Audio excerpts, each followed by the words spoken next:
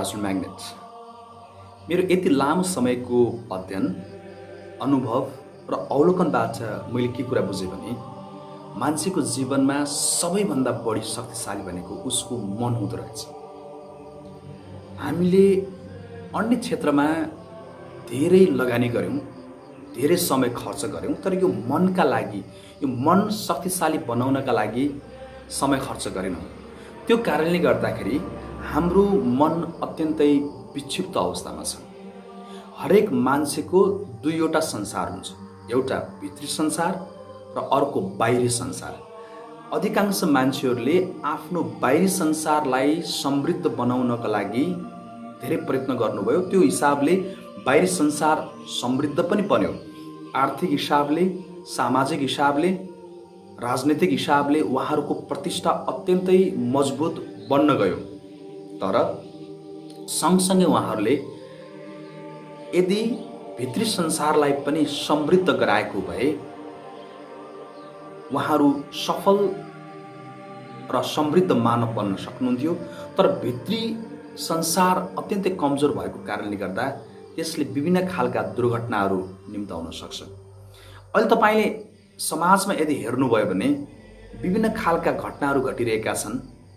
बलात्कार त्यसपछि काण्डै काण्ड गरिरहेका छन्। विभिन्न खालका प्रकरणहरू छन् र आत्महत्यादेखि लिएर धेरै खालका समस्याहरू एडिक्सन एडिक्सन भन्ने बित्तिकै तपाईँले ड्रग्सको एडिक्सनका साथसाथै अहिले मोबाइलको एडिक्सन चलिरहेको छ।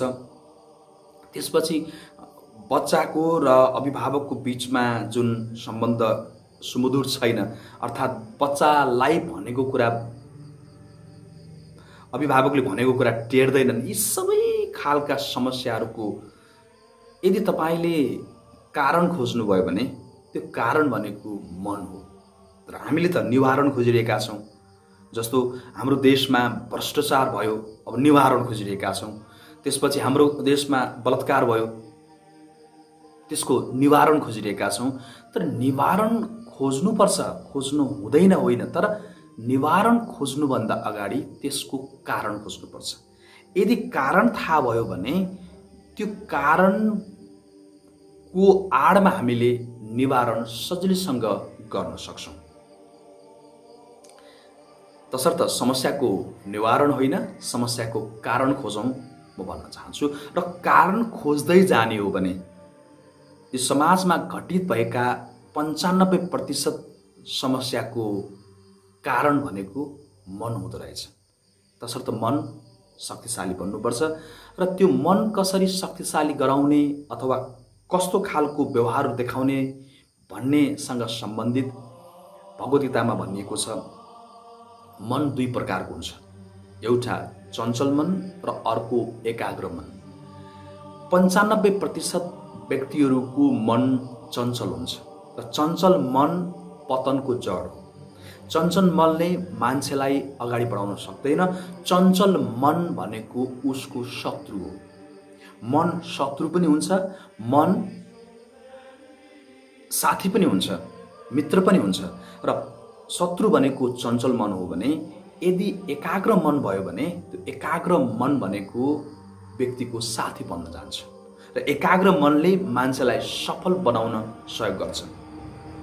तपाईँहरूले सुन्नुभएको होला वारेन बफेट र बिलगेट्स यिनीहरू संसारका धनाढ्य व्यक्तिहरू हुन् र वारेन बफेटले बिलगेट्सलाई भेट्न त्यति चाहिरहेका थिएनन् पहिलाको उसमा समयमा तर पछि उनीहरूको भेट भयो। भेट हुँदै जाँदाखेरि त्यहाँ बिलगेट्सको बुबाले सफल हुनका लागि के चाहिन्छ भनेर बिलगेट्स र र वारेन बफेटलाई छुट्टा छुट्टै राखेर लेख्न लगाउनु भयो एउटा शब्द लेख तिमीहरूले भनेर भन्दै गर्दा उहाँहरूले एउटै शब्द के लेख्नुभयो भने फोकस। फोकस। ध्यान। अब यदि मान्छेको चित्त अथवा मन एकाग्र भयो भने त्यहाँबाट उसले धेरै खालका सृजनाहरू ल्याउन सक्छ। जस्तै जस्ता खालका आविष्कारहरू भएका छन् अहिले जस्तो खालको प्रयोग भइरहेको छ नवीनतम नवीनतम ज्ञानका कुराहरू आइरहेका छन् यी सबै भनेको एकाग्र मनको प्रतीक हो। कसैले कविता लेख्छ? एकाग्र मन हो। कसैले विभिन्न खालका भिडियोहरू निर्माण गर्छ? त्यो सबै एकाग्र मन हो। एकाग्र मनले मान्छेलाई प्रगति र उन्नतिको बाटोमा पुर्याउन सक्छ। अब त्यो एकाग्र मन गराउनका लागि के गर्ने भन्ने विषयसँग सम्बन्धित हामीले प्रशिक्षणहरू दिन्छौँ। तथापि अहिले तपाईँलाई भन्दै गर्दा भगवद् गीतामा दोस्रो अध्यायमा दुईवटा श्लोक छ। त्यो श्लोकलाई हामीले आत्मसात गर्नुपर्छ। पहिलो श्लोक भनेको मात्रास प्रशास्तु कौन्तेह शीतोष्ण सुख दुख दाह आगमा पाइनो नित्यास तामस्तितिक्ष भारत। अर्को भनेको सुख दुखे समय कृत्वा लाभालाभौ जयाजयो ततो युद्धाय युचस्व नैवम पापम वापससे यो दुईवटा श्लोकमा के गरिरहेको छ भने मान्छेको जीवनमा अनुकूल वातावरण पनि आउँछ र मान्छेको जीवनमा प्रतिकूल परिस्थिति पनि आउन सक्छ।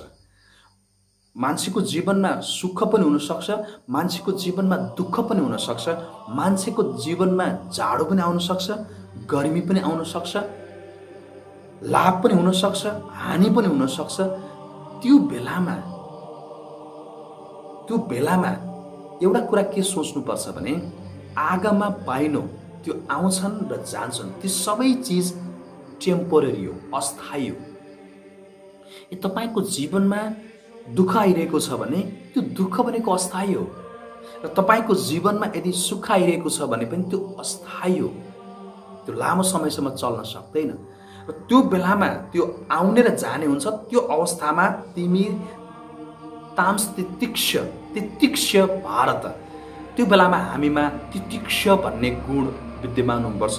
यो संस्कृतबाट आएको शब्द हो र यसको अर्थ के हो भने तिम्रो मानसिक अवस्था अत्यन्तै समृद्ध हुन्छ र डटेर तिमीले सामना गर्नुपर्छ। तिम्रो मा मानसिकतामा विचलन आउनु हुँदैन भनेर भनिएको छ। तर हामी के गर्छौँ भने यदि कुनै खालका समस्याहरू आइपर्यो भने त्यो बेलामा हामी आत्तिन्छौँ अत्तालिन्छौँ र मेरो सर्वनाश भयो भन्ने ठान्छौँ। र त्यो होइन।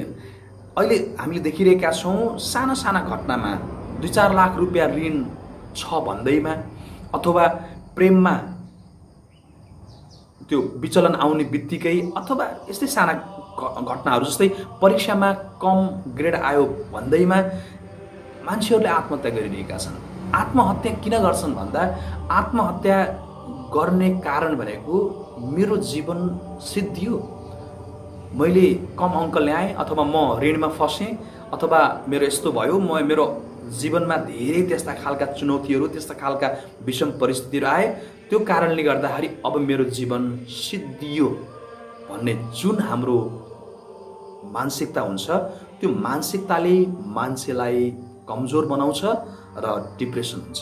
र डिप्रेसन भइसकेपछि मान्छेले आफ्नो जीवन रित्तिएको आफ्नो जीवन भत्ताभुङ्ग भएको देख्छ र यो जीवन अब बाँच्नका लागि होइन अब यो जीवन यहीँ सिद्धाउनुपर्छ भन्ने हिसाबले कुनै नदीमा गएर हाम फालेर हुन्छ अथवा डोरीले घाँटीमा पासो लगाएर हुन्छ कसरी हुन्छ उनीहरूले आत्महत्या गरिरहेका हुन्छन्।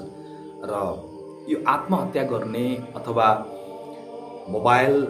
मोबाइलमा जुन खालको एडिक्सन लागु औषधमा जुन खालको एडिक्सन छ र सम्बन्ध जुन बिग्रिरहेको छ सम्बन्ध विच्छेद अहिले सामान्य बनिरहेको छ धुमधाम बिहे भइरहेको छ अहिले र त्यसको एक वर्ष पछाडि सम्बन्ध विच्छेद भयो अरे उनीहरू छुट्टा छुट्टै बस्न थालिरहेका छन् भन्ने देखिन्छ। तपाईँले देख्नुभयो भने राम्रा राम्रा कलाकारहरूको पनि सम्बन्ध विच्छेद भएको तपाईँले देख्न सक्नुहुन्छ। ती सबै के हो भने बाहिरी संसारमा उहाँहरू सफल बन्नुभयो तर सँगसँगै उहाँहरूले भित्री संसारलाई समय दिनु भएन। र म तपाईँलाई के भन्न चाहन्छु भने अब तपाईँले आफ्नो बच्चाको आफ्नो मनलाई शक्तिशाली बनाउनुहोस्।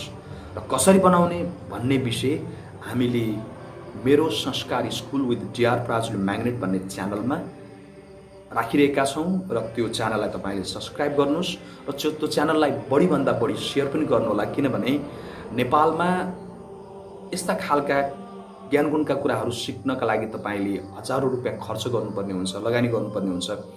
तर मैले तपाईँलाई नि शुल्क रूपमा यस्ता खालका भिडियो टिप्सहरू दिइरहेको छु र कति साथीले मलाई के भन्नुहुन्छ भने तिमी ट्रेनर हो त्यो ट्रेनर भइसकेपछि तिमीले यस्ता यस्ता खालका कुराहरू नि शुल्क रूपमा दियो भने तिम्रो ट्रेनिङ को सबै कन्टेन्ट तिमीले यसरी भिडियोमा नि शुल्क रूपमा दियो भने तिम्रो पेसा धरापमा पर्न सक्छ भनेर भन्नुहुन्छ। तर म भगवद्गीताले भनेअनुसार के अपेक्षा गर्छु भने तपाईँलाई मैले यो भिडियो पस्किँदै गर्दा तपाईँलाई लाग्न सक्छ यो तपाईँले अथवा मैले तपाईँलाई दिएँ जस्तो लाग्छ होला। तर यो होइन।